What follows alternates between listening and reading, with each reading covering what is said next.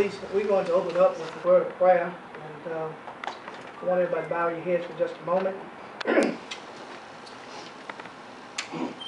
It is in your presence that we humbly come now, thanking you again for the opportunity to come before you in prayer.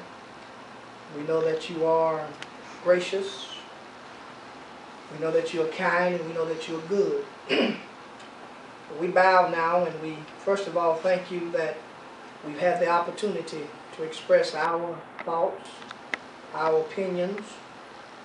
Now we beseech you, O Father, to now let the healing begin.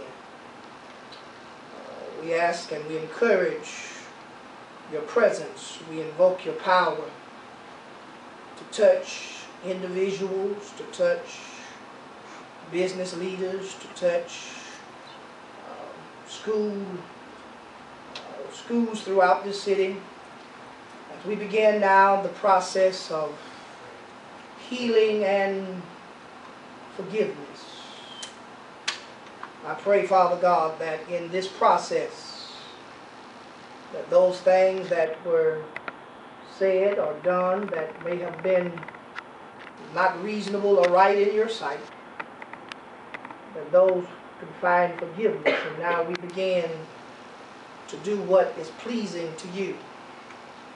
It is my prayer now that as Christians, those who say that we love God, would stand now and not allow the pains of the past to paralyze the potentials of the present. It is through this prayer that we stand and we invoke your power. It is in Jesus' name we pray. All the people said, Amen. Amen.